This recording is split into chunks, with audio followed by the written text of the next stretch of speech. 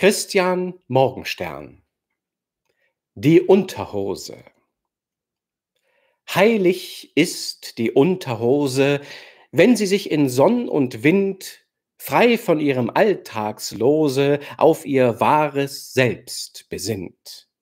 Fröhlich, ledig der Blamage steter Souteränität, wirkt am Seil sie als Staffage, wie ein Segel leicht gebläht. Keinen Tropos ihr zum Ruhme spart des Malers Kompetenz, preist sie seine treuste Blume Sommer, Winter, Herbst und Lenz.